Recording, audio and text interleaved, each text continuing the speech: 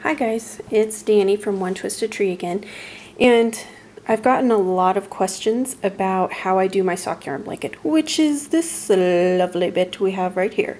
So I have the borders here, and a lot of people have been asking how I do the borders. And I've also gotten a lot of questions on whether doing these borders results in a lot of, a lot of ends to weave in. And for the most part, no. For the most part, the only little bits that I weave in are the last little um, triangles up here. Uh, the rest of them I pick up as I go along. So I thought I'd show you that today.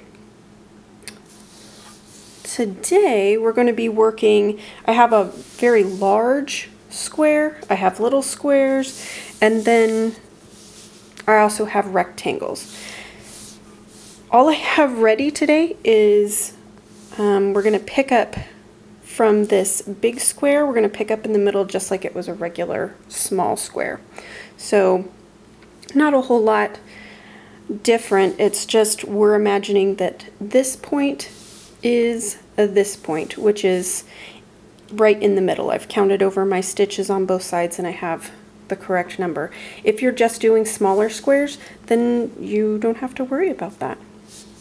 So I have my black sock yarn skein watch. This is still the first ball of yarn. I bought a lot because I didn't know how much it was going to take. This is the first ball for those of you on Skein Watch. This is the Knit Picks Hawthorne kettle dye in the Blackbird colorway, I'm, I'm pretty sure. Then my color will be, this is just a tiny little ball of Miss Fisher's Pearl Handled Pistol. This is, I just weighed, I just weighed it and I think it's less than five grams. Five or four, I think it was kind of balancing in between. I'm, I usually use somewhere between three is getting, three grams is getting a little bit iffy, but four grams, I haven't had a problem. I have used three and not sweated it. It's just a square, so if I have to pull it out, then I do, but it's not a big deal.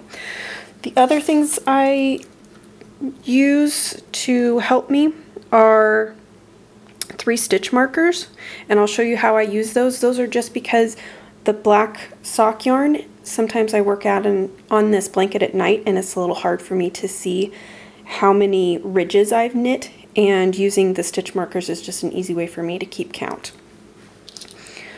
I also have an emergency fix keychain from Knit Picks and it retails for like $2.49.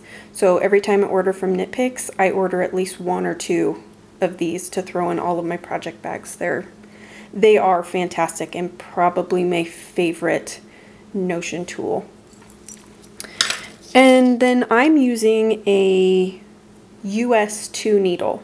You can obviously use DPNs, but for me this is just easy to, you know, throw, a circular is easy for me to throw in my bag, whereas DPNs I'm almost guaranteed to lose. So let's get started. We're going to use the black sock yarn to make our border. And we're going to start right here in this stitch and I'm going to take that off now because I don't need it there. And then I'm going to leave a little bit of a tail here. We don't need too much, but we need a little.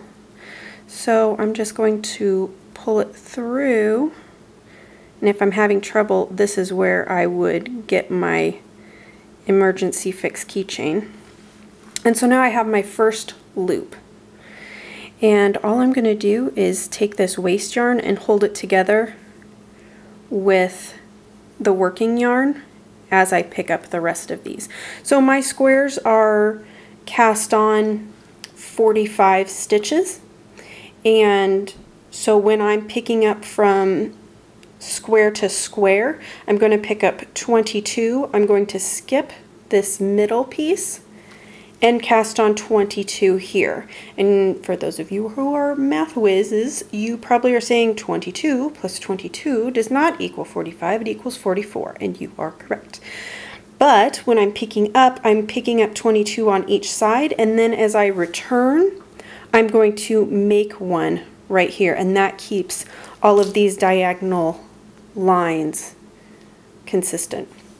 So that's where we're going. All right, so we have our first stitch here, and we're just going to continue picking those up with the yarn held together.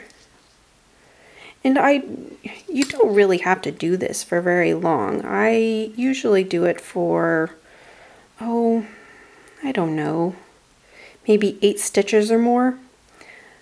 But I don't think that, I don't even think that's necessary. I think six would probably be plenty. I just like the way that, you know, 10 or 13 sounds sometimes. Sometimes I just knit them together until I start losing one of them, right? So now this one is starting to pull away, so I'm just going to let it go. And I'm going to continue continue casting on here.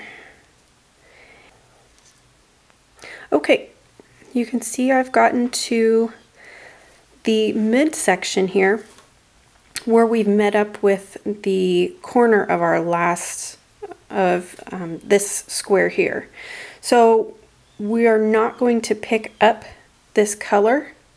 We're going to jump directly from this black border to this black border and just leave this be. And if you notice, it's kind of hard to see on these first stitches here. Um, but if you notice, I'm picking up, I'm going, as I pick up, I'm going through two loops. So I've got two loops on there um, as I'm picking up. All right, now you'll notice that when you knit this border, you are going to have an end from, from the top of this border. So I just pick that up and knit that along with the working yarn as well. So I'll do one more stitch and then I'll come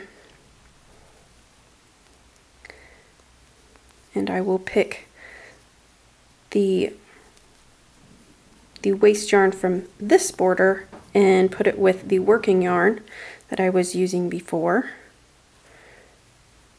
and I'm just going to weave in those, knit those ends together as well.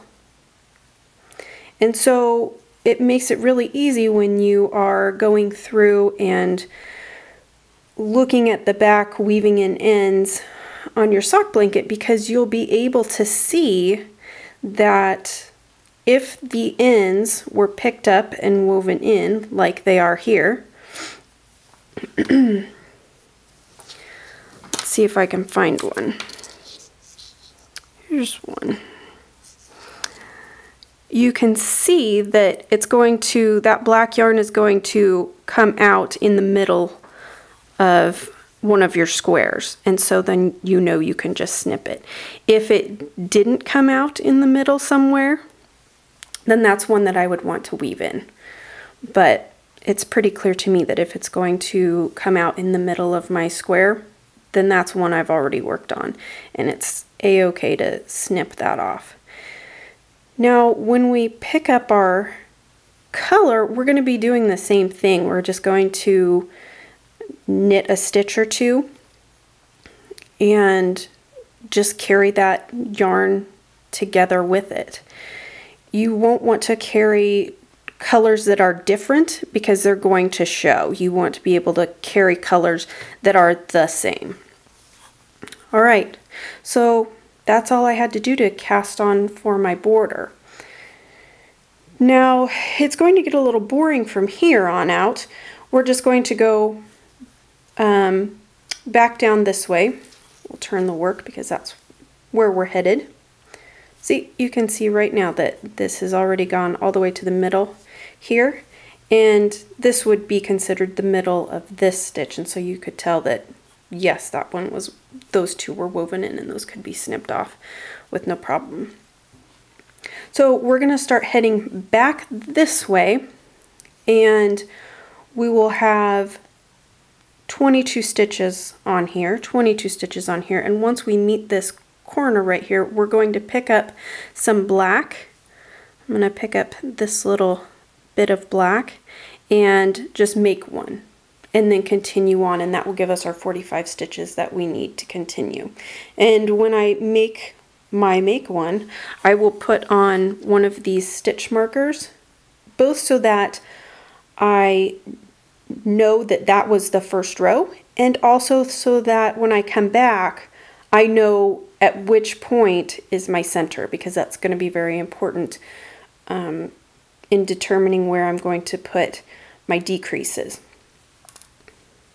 So here we go and hopefully I'll be able to figure out how to fast forward through all of this and you guys can hum to yourself quietly or loudly. I mean, it's up to you. I'm not going to tell you how to hum. So here we are right here in the middle. We're just going to pick this stitch up and I'm picking it up from the front and so I'm going to knit it through the back and carry on. We are back on the front again. So if you can see, this is where I've made my make one stitch. I'm just going to put a little marker there. And my rows are three ridges uh, wide. And so every time for the first make one stitch, I will put a marker.